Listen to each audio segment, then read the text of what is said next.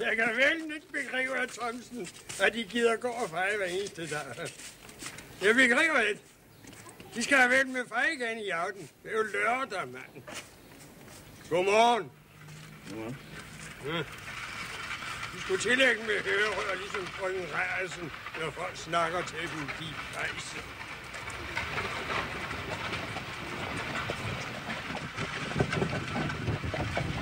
Kan siger sig for?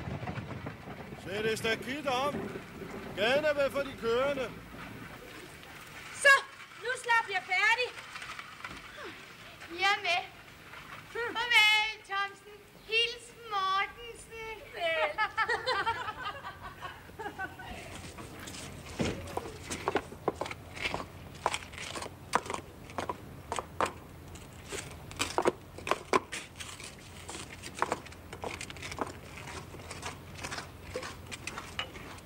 Det er Nal Thomsen til at hænge i.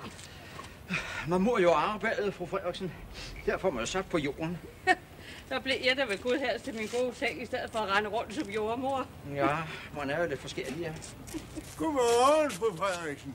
Er stokken allerede kommet så tidligt på året? Godmorgen, Tom. Godmorgen. Ja, ungdommen er jo ivrig herovre, lærer. Brilliant, mand. Ham kan jeg lide. Ja. Kanskje en smule for frittalende, når man har været børneopdrager. Åh, det. Ja, ja, fru Frederiksen. Der er dog så meget urent i verden. I er en stivstikker, Thomsen. Man er, hvad man er, fru Frederiksen. Og en fejltagelse. Man forstår, man er det. Nå, jeg mener, hvis- hvis der blev så rigtigt af dig, så var de kanskje fruen til mig. ja, ja, godt ord igen. Nå, nu er jeg vist hjemme ved Lullen.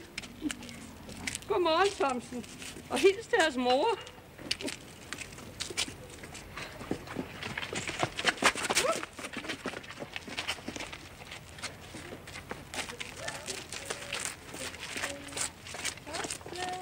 Thomsen. Tummelumsen.